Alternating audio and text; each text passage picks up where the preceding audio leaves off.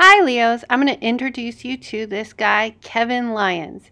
He is a painter, a muralist, and an illustrator. We're going to do an art project based on his work. We're going to be inspired by his silly guys that he does with these great faces. You might have seen his work on this bag of Jolly Rancher candies. I love how he puts words in the mouths of some of his silly guys. This art lesson, we need a pencil, a Sharpie, markers, something to spray water with, watercolor paper, and tin foil. When drawing these guys, I like to start with the eyes and the mouth and the hat first. Draw a light till you get it right.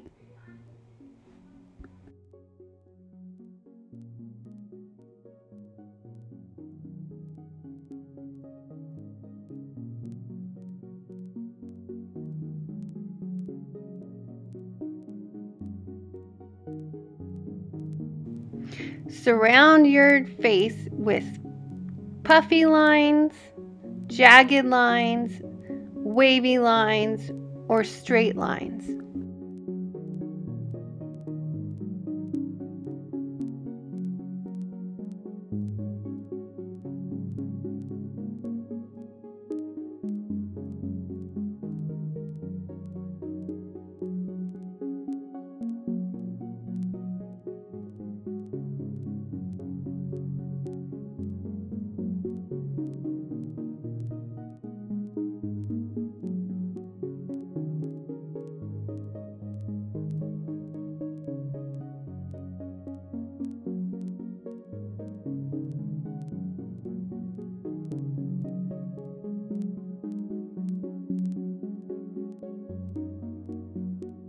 I like to have a variety of different monsters on my paper. I have jagged teeth, I have tongues sticking out, and I even have words in mouths.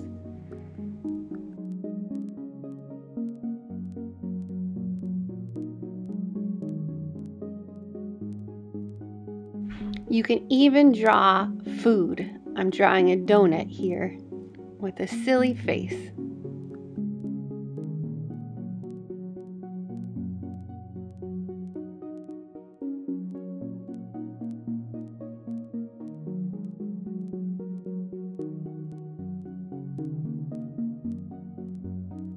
Miles and Harrison are using their imagination and making up their own silly monsters.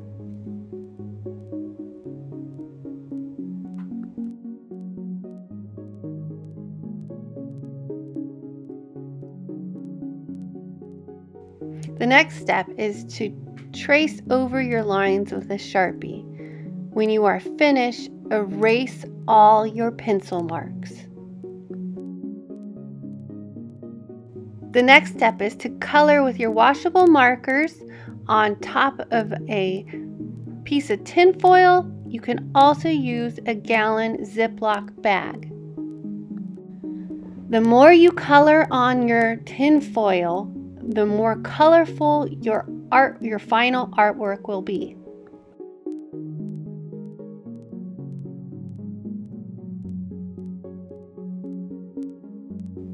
Set aside your tin foil and then spray your outlined artwork with water.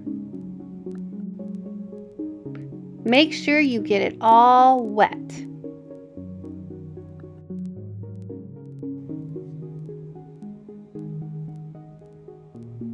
Bring back your tin foil and lay your wet paper face down on the colored side of your tin foil and rub, rub, rub. Make sure you get all the corners.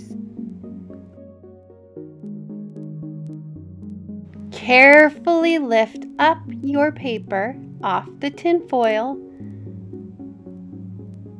and look at what you've done. Many of you Leos have already done this in my classroom, but we used a laminated piece of paper.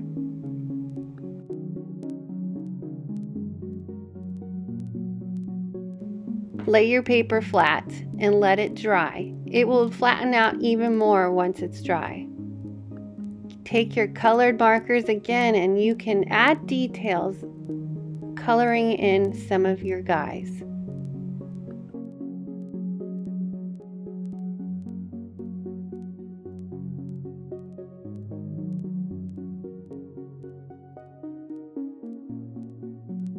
You can also add details by outlining your lines with markers. Once you're finished outlining, you could take a wet paintbrush and blur those lines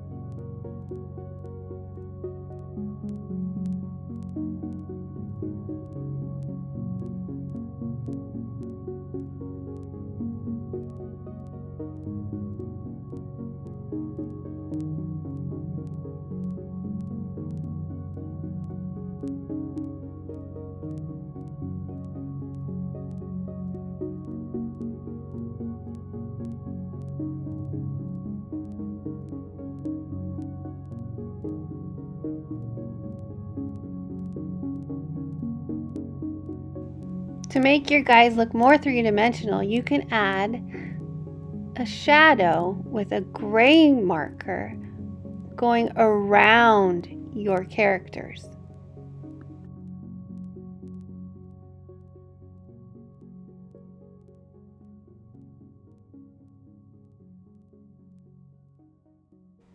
And now you're done. Here's Harrison and Miles's work.